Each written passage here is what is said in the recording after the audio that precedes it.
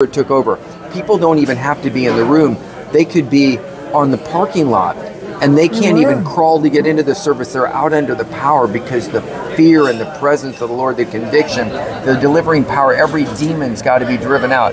And it's an effortless victory at that point. Oh, absolutely. But staying in his presence to carry that tangible relationship with the Lord so you can carry it out of the most holy place into the highways and byways to when you show up and you say, Holy Spirit, come, it's because he sent you in there to release it unto the people. And it creates controversy, doesn't it? oh, yeah. Oh, yeah. She dealt with a lot of that. Nobody could deny the fruit, could they? Well, you know, that's what happens when you see the Holy Spirit move and you have questions about that, which some did. And, you know, this was before Toronto.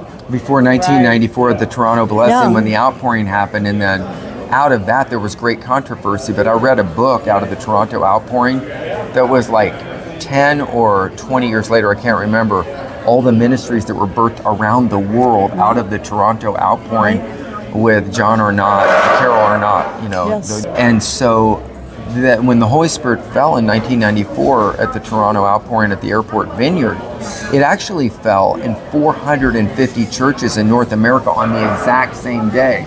That's just one that people knew about. Yes. And there were the same types of manifestations everywhere, but the deliverance from sin. In fact, Heidi Baker was at the Toronto outpouring, and that's where she got hammered by the Lord for three days. And now she and her husband Rolland, and we had the privilege of being with Heidi a couple years ago. They planted, I don't know, maybe 10,000 churches. And they feed Oh, yeah. 43,600 people a day with that don't have food Yes. through Iris Ministries. huge. So this is the long-term power and fruit when God shows up with the glory. I want you to pray a second prayer for a release of the glory. Okay. I want the people to receive because now that you know Second Chronicles 7:14 uh, 2 5 Second Chronicles chapter 5 verse 13 and 14 in the Old Testament the Shekinah glory of God the glory of God shows up on the transfiguration mount it shows up through Peter's shadow through Paul's handkerchiefs and aprons and he shows up today through people that love the Lord Jesus Christ exalt him and spend time in the presence of the Holy Spirit, and they carry that tangibility out from the secret place into the highways and byways. Pray that that's released. So just know, Jill always said, the Lord responds to hunger and desperation. And when you get to the point where you are sick and tired of being sick and tired of being sick and tired, that you will do something about it, that's when you are going to have things happening to you.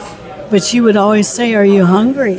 She said that she prayed more than anything for hunger. And I went, Hunger? Wow, I never thought of that. But are you hungry? And are you desperate? Because if you are, then you'll take it. If you're not hungry, you don't eat. So I release mm, good. the glory and the presence of the Holy Spirit to come and to touch people's lives with supernatural intervention that the glory of the Lord, the fire of your, His presence, will be surrounding you, and that God will fill you with His Spirit, anoint you, but then you give it away. And when you give it away, you get more. And if you keep it to yourself, that pretty much ends it. It's an ever expanding kingdom. Oh, absolutely. Well, we thank God for this time with Linda Valen in Kansas City. And the website is jillaustinlegacy.com. Yes. Okay, so connect with Linda Valen, our good friend. We've known each other 16 years. Yes. Yes. Yes. Love